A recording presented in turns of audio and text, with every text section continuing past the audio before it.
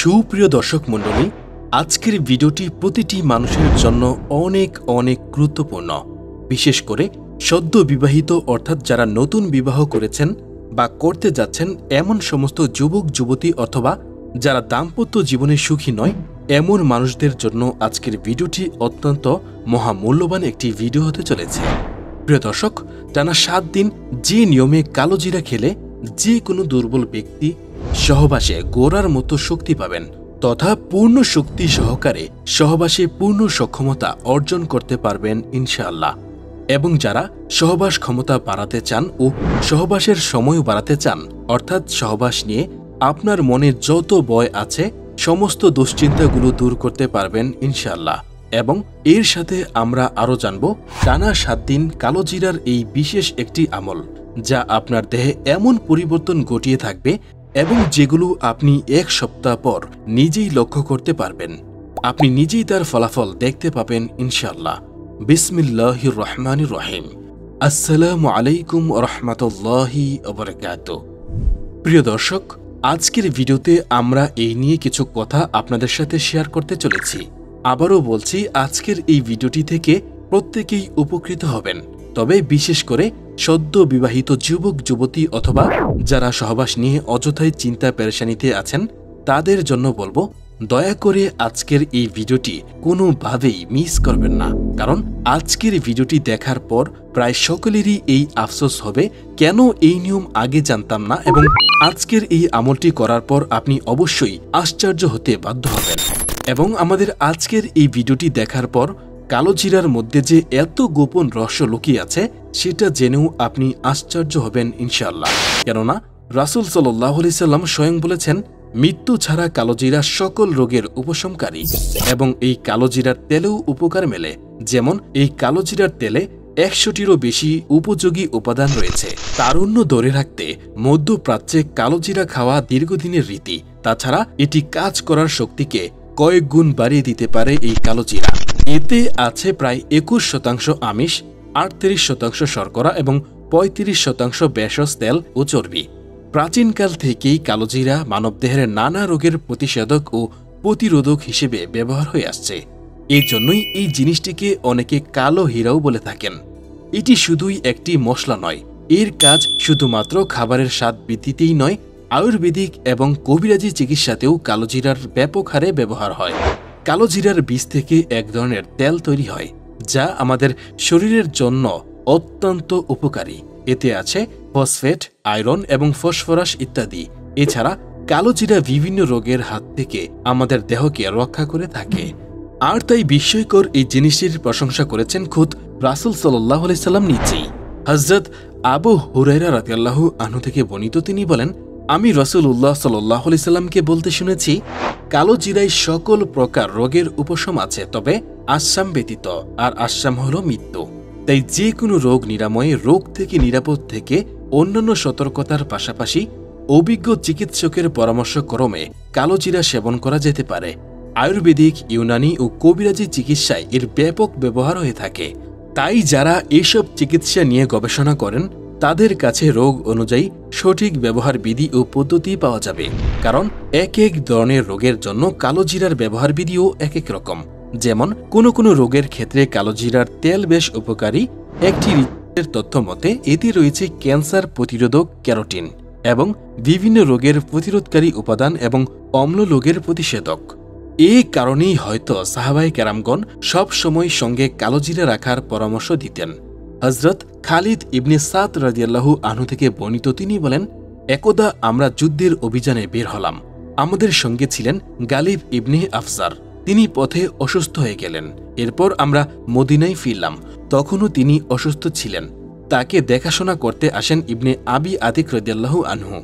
তখন তিনি আমাদেরকে বললেন, তোমরা এ কালোজিরা সঙ্গে রেখো। এর থেকে পাঁচটি কিংবা ষাটটি দানা নিয়ে পিষে ফেলবে। তার মধ্যে তন্মধ্যে জয়তুনের কয়েক ফুটা তেল ঢেলে তার নাকের এদিক ওদিকে ছিদ্র দিয়ে ফুটা ফুটা করে প্রবিষ্ট করাবে।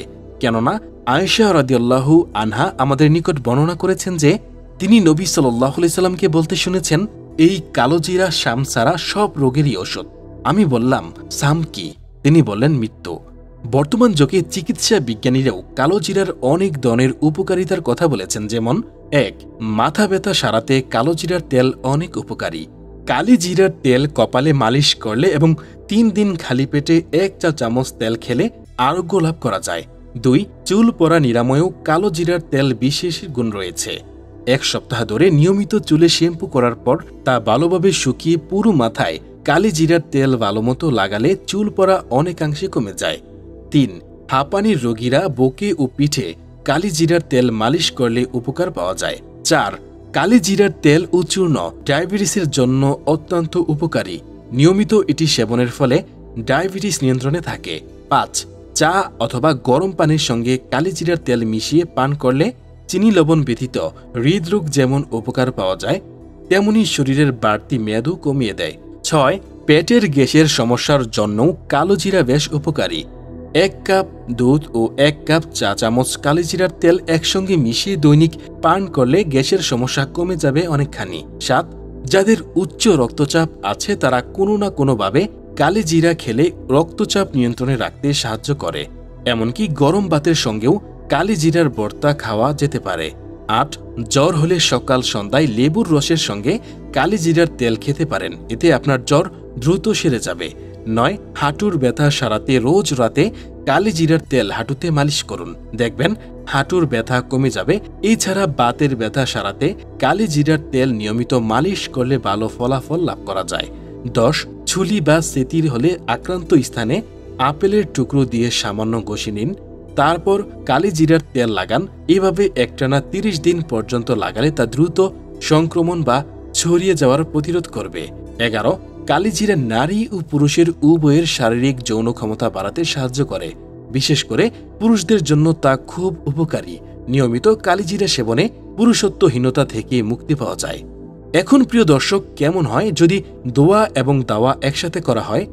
আমরা জানি, সুরা ফাতিহা আল্লাহ তালার পক্ষ থেকে আমাদের জন্য এক বিশেষ নিয়ামত। বুখারি শরীফের পাঁচ হাজার সাত নম্বর হাদিসে উল্লেখ রয়েছে, রাসুল সাল্লাহ সাল্লাম সাহাবিদেরকে সুরা ফাতিহা দ্বারা জারফুকের জন্য অনুমতি দিয়েছেন এবং সাহাবিরা সুরা ফাতিহার মহিমায় জারফুকের মাধ্যমে উক্ত রোগী শেফা লাভ করেছেন। আর তাই সুরা ফাতিহাকে সুরাতুল শেফাও বলা হয়ে থাকে। তাই কেউ যদি দিনের শুরুতে এবং দিনের শেষে তিন চিমটি কালোজিরা একটি পাত্রে নিয়ে তারপর সুরা ফাতিহা সাতবার পরে ফুক দিয়ে তা খেয়ে নেন, তাহলে ইনশা আল্লাহ তাকে যাবতীয় রোগবেদি থেকে আল্লাহ রক্ষা করবেন। এবং এর ফলে আমলকারীর দেহে রোগ প্রতিরোধ ক্ষমতাও বৃদ্ধি পাবে ইনশাল্লাহ তাই আমরা সব সময় সকালবেলা ফজরের নামাজের পর এবং সন্ধ্যায় মাগরিব নামাজের পর তিন চিমটি কালোজিরা একটি পাত্রে নিয়ে নিব, তারপর তাতে সুরা ফাতিহা সাতবার ফরে ফুক দিয়ে তা ভালো করে চিবিয়ে চিবিয়ে খেয়ে নিব এবং তারপর আল্লাহর কাছে সুস্থতার জন্য সাহায্য কামনা করব।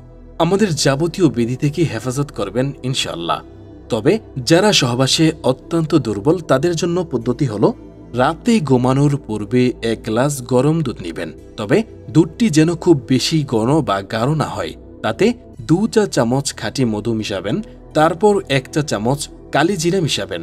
তবে সম্ভব হলে কালো জিরা তেলও দিতে পারেন। তবে সেটি যেন অবশ্যই গড়ে বানানো কালো জিরার তেল হয়। এরপর তিনটি খেজুর পেঁয়াজ কাটার মতো কুচি করে তাতে দিয়ে দিবেন। তারপর কিছুক্ষণ পরে যখন সেই দুধগুলো কুসুম গরম থাকবে, তখন ভালোভাবে নেড়ে সাতবার সুরা ফাতিহা পরে তিনবার ফুক দিবেন, অতপর অন্তত তিনবারে বিসমিল্লাহ পরে ধীরে ধীরে খেয়ে নেবেন এবং দাঁতের নিচে যখন কালো জিরা এবং খেজুর পড়বে তখন ধীরে ধীরে চিবিয়ে খাবেন। এটি ঘুমানোর অন্তত এক ঘণ্টা আগে খাবেন, তারপর পেশাব, পায়খানা সেরে অজু করে এসে ঘুমিয়ে পড়বেন। এভাবে একটানা সাত দিন খাবেন মনে রাখবেন, এই প্রথম সাত দিনের মধ্যে স্ত্রী সহবাস করবেন না এবং হস্ত মৈথুন তো কোনোভাবেই করা যাবে না এবং অন্তত এই সাত দিনের মধ্যে খারাপ কোনো ভিডিও সিনেমা দেখবেন না। আবার তার মানে এই নয় যে অন্য সময় এই কাজ করবেন, অর্থাৎ বুঝাচ্ছি যে আপনাকে এই বদ অভ্যাসগুলো ত্যাগ করতে হবে এবং এই সাত দিন প্রতিদিন খেয়াল করবেন, এক হাজার বারের বেশি এস্তেকফার করবেন, অর্থাৎ আপনি দুই সেকেন্ডের জন্য অবসর পেলেও সেই সময়টিতেও এস্তেকফার করবেন। তথা এই ছোট এস্তেকফারটি করতে পারেন। আর সেটি হল আস্তক ফিরুল্লাহ আস্তক ফিরুল্লাহ এটি যতবার সম্ভব ততবার পড়বেন। অর্থাৎ যে কোনো কাজের সামান্য অবসরেও এই এস্তেকফারটি করতে থাকবেন। এবং গভীর রাতে উঠে দুই রাকাত নফল নামাজ পড়ে মোনাজাত ও সেজদায় আল্লাহর কাছে মনে মনে দোয়া করবেন। এবং আপনার মনের কোনো ইচ্ছা থাকলে তা আল্লাহকে জানাবেন। এবং আপনার কোনো সাহায্যের প্রয়োজন হলে তা আল্লাহকে জানাবেন। কারণ শেষ রাতে আল্লাহ তালা নিকটবর্তী আসমানে অবতরণ করেন। তাই শেষ রাতে দোয়া কবুলের সবচেয়ে উপযুক্ত সময়। কারণ আল্লাহর সাহায্য ছাড়া কোনো আমলই কার্যকর হবে না। আল্লাহর কাছে সবসময় এস্তেকফার করতে হবে। রাসুলের প্রতি বেশি বেশি দরুদ পাঠ করতে হবে এবং যাবতীয় পাপাচার থেকে যথাসম্ভব মুক্ত থাকতে হবে। এছাড়া কালো জিরা তরকারির মশলা হিসেবে খেতে পারেন।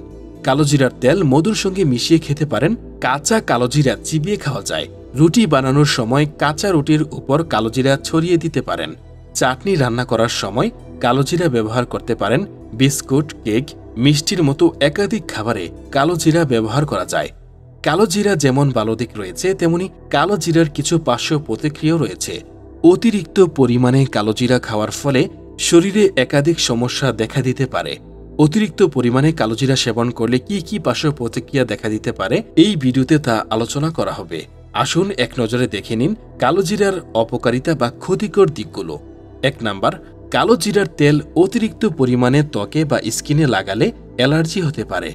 সেই জন্য পরিমাণ মতো কালো জিরার তেল ব্যবহার করা উচিত। দুই নাম্বার, কালো জিরা অতিরিক্ত পরিমাণে সেবন করলে শরীরের রক্ত জমাট বাঁধা কমে যেতে পারে, যার ফলে রক্তপাত হওয়ার ঝুঁকি বেশি থাকে। তাই অতিরিক্ত পরিমাণে কালো জিরা না খাওয়াই ভালো। তিন নম্বর অতিরিক্ত পরিমাণে কালো জিরা খেলে রক্তে শর্করার পরিমাণ কমে যেতে পারে। যদি কারও শরীরে ডায়াবেটিসের সমস্যা থেকে থাকে, তাহলে অবশ্যই শরীরের শর্করার চেক করুন এবং চিকিৎসকদের পরামর্শ নেওয়ার পর কালো জিরা খেতে পারেন। তো শেষে যে একটি কথা না বললেই নয়, যে কোনো আমলের জন্য এবং আমলটি কবুল হওয়ার জন্য যথাসম্ভব পাপ থেকে দূরে থাকতে হবে এবং পাপ করে ফেললেও সাথে সাথে তবা করে আল্লাহর কাছে ফিরে আসতে হবে। পাপের উপর অটল থেকে আবারও পাপ করা যাবে না। এতে করে অন্তরে মরিচা পড়ে যায় এবং তার অন্তর শুকিয়ে যায়, মরে যায়। আর মৃত অন্তর তখনই তাজা হয় সৎ কাজ নেকামল ও এস্তেকফারের মাধ্যমে। হজরত আবু হুরেরা কর্তৃক বর্ণিত রসুল্লাহ সাল্লাহ সাল্লাম বলেছেন, কোনো মমিন যখন কোনো পাপ করে, তখন তার হৃদয়ে একটি কালো দাগ পড়ে যায়। অতপর সে যদি তাওবা করে, পাপ থেকে বিরত হয় এবং ক্ষমা প্রার্থনা করে তাহলে তার হৃদয় পরিষ্কার হয়ে যায়। আর যদি সে আরও বেশি পাপ করে, তাহলে সেই দাগ তার হৃদয়কে গ্রাস করে নেয়। সেই হলো সেই জং মরিচা, যার কথা আল্লাহ তার কিতাবেও উল্লেখ করেছেন। প্রিয় দর্শক, আজকের ভিডিওটি খুবই উপকারী একটি ভিডিও। এই ভিডিওটি শেয়ার করলে হয়তো অন্য মানুষেরাও আপনার কারণে উপকার পাবে। তাই অন্যের উপকারের স্বার্থে ভিডিওটি অনুগ্রহ করে শেয়ার করে দিন। এবং আপনি কমেন্ট করে আমাদেরকে আপনার নাম এবং কোথায় থেকে দেখছেন তা জানাতে পারেন। আপনি যদি এরকম ভিডিও আরও পেতে চান, তাহলে এই চ্যানেলটি সাবস্ক্রাইব করে ভিডিওটি একটি লাইক দিয়ে দিন। প্রত্যেকের সুস্বাস্থ্য কামনায় আজকের ভিডিওটি এখানেই সমাপ্তি। আসসালামু আলাইকুম রহমতুল্লাহি আল্লাহ হাফেজ।